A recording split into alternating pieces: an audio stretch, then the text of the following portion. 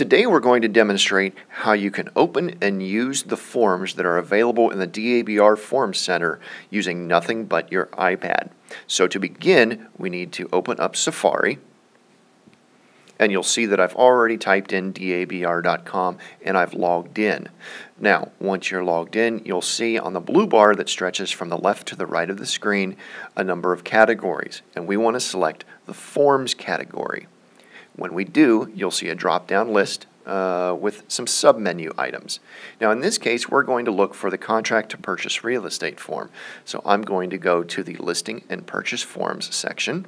So I'll press that area and the new page will open up and I'll scroll down until I find the contract to purchase real estate. There are two ways you can open up this form.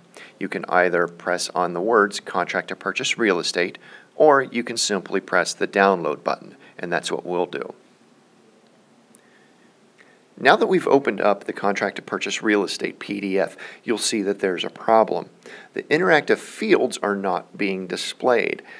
The PDF viewer that is built into the web browser is a very basic viewer and it does not detect those interactive fields. So, what we need to do is we need to open this form in another application. Now, there are many options, both free and paid, in the App Store for viewing PDFs. The app we're going to use is called PDF Expert, so that's what we'll use to open the contract. From this screen, tap anywhere in the contract and you'll see a dark gray bar appear for a moment at the top of the PDF that gives you options to open the file in other apps. It offers Open in PDF Expert or Open in. We'll select the Open In just to show you that it recognizes many other installed apps that will read PDFs. We'll select PDF Expert and you'll see that it opens up the app and loads the contract. Furthermore, you'll see now that the interactive fields are recognized, so we can begin to fill out the contract. Simply tap in the first field and begin filling it out. So we'll select that first field and we'll enter the date, And once we do that, we can then either tap in the next field or simply touch the next button uh, here in the keyboard section, uh, continuing to do so until the contract is complete. So I'll hit the next button, and you see it moves on to the next field that you can complete, and so on, and so on. One of the great things about this particular app is that it allows you to strike out sections, add annotations, and lets clients actually sign the contract. So let's do that. I'll just move on to the bottom of the second page where the signature areas are. Now, in order to add a signature, touch and hold in a blank area of the contract, just like that, and you'll see some options appear. Select Signatures, and then Customer Signature.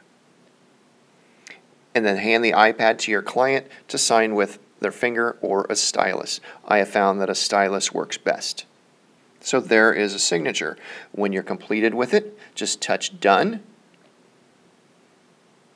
and the signature shows up on the contract. Then you can touch and hold to drag the signature in place and use the red handles to scale the signature larger or smaller to fit the space.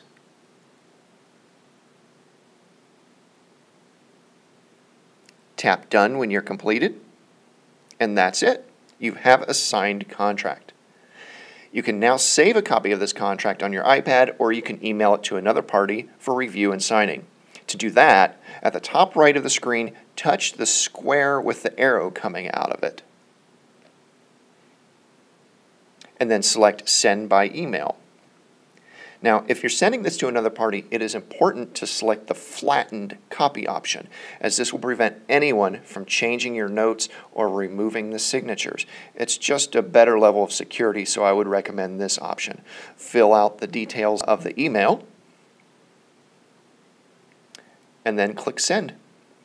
And now you've downloaded, viewed, and completed a contract all on your iPad. Thanks for watching.